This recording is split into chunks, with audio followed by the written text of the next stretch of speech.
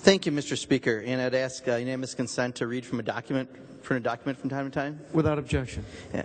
Uh, lady from the seventh, I'm sorry if people weren't listening to everything that you had to say about your letter to the Pope. You know, the problem is you didn't go high enough. To get their attention, you have to go to Grover Norquist. You know, I would thank the other side of the aisle for this bill if it wasn't such a bad bill, uh, because this bill illustrates everything that I've learned in about 14 years being here. What's wrong with legislative lobbying, uh, specifically a group called ALEC, the American Legislative Exchange Council. Uh, now, I've explained this before, but I think it's always worth mentioning again. Uh, ALEC is a corporate dating service for lonely legislators and corporate special interests that eventually the relationship culminates with uh, some special interest legislation, and hopefully uh, that lives happily uh, ever after, is the ALEC model. Uh, unfortunately, what's excluded from that equation is the public, Mr. Speaker, and I think today this bill is a, a prime example of that. When I was at the ALEC convention this summer, uh, one of the prime uh, sets of classes they had were about how to eliminate public education. It's really about how to privatize it. They talked about how to do it, specific bills, strategy, and gave some of the best advice in the country that you can afford on how to do that.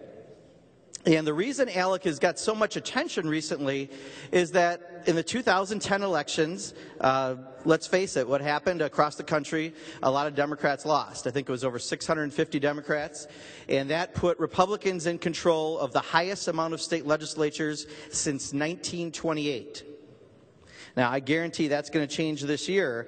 But what happened is too many states, like Wisconsin, overreached and put out bills like this bills that are nothing but a special interest corporate giveaway.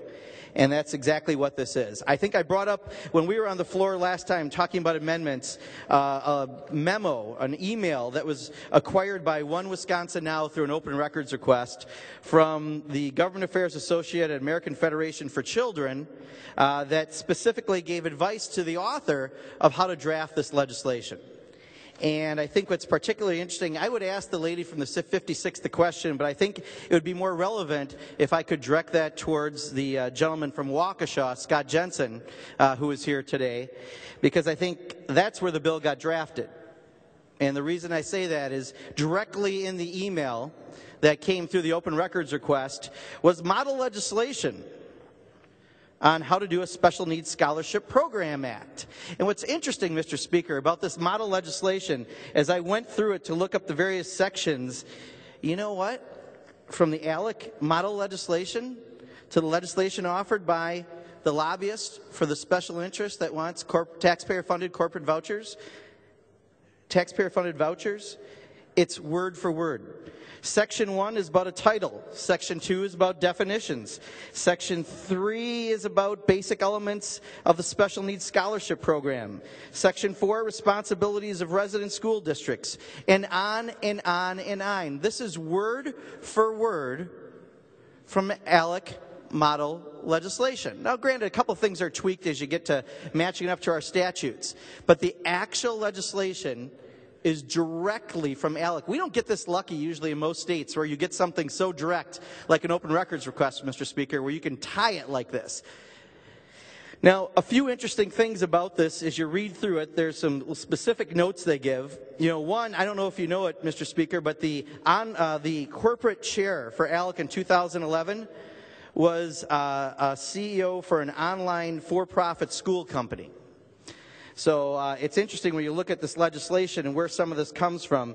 Specifically, what they have in here, uh, let me just take one section, section 8.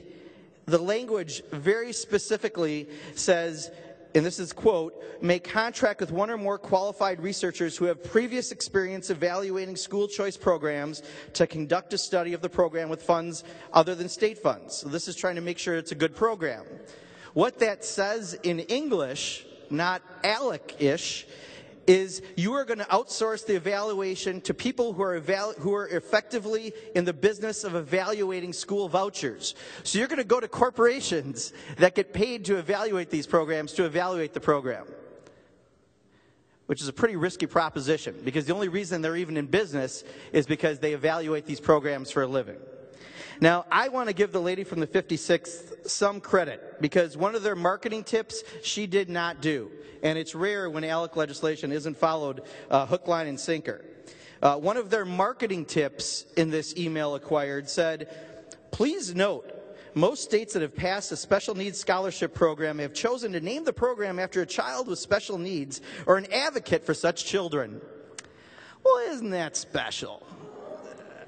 No, you didn't do that, Mr. Speaker. Your side of the aisle didn't do it. And I'm going to give you credit for that. But isn't it nice? They give you a nice little warm and fuzzy. As you're handing over taxpayer dollars to a corporation, you do it with a smile. You put a little kid's face on it.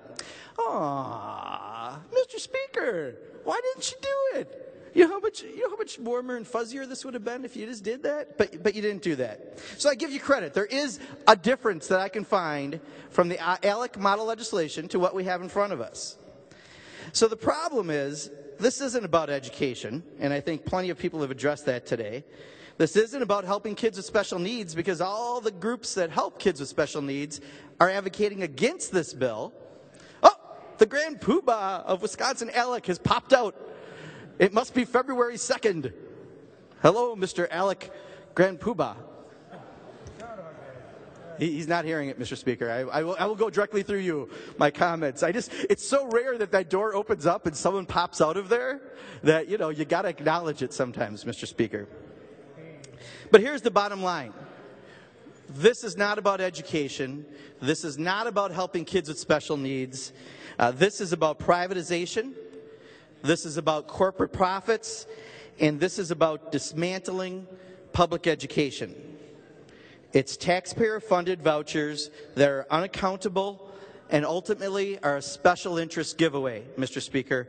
Uh, I would hope that we would not vote for this legislation. I expect that you will vote for this legislation, uh, but it is my hope that the Senate will see wiser uh, than to take an ALEC bill with this much of a paper trail because I'll tell you, uh, nationally, uh, there's only a couple states that have been this sloppy. And I would hope that Wisconsin wouldn't be one of them that shows how blindly we follow uh, institution that's paid for by corporations, for corporations, and uses state legislators to introduce their, their wares. Thank you.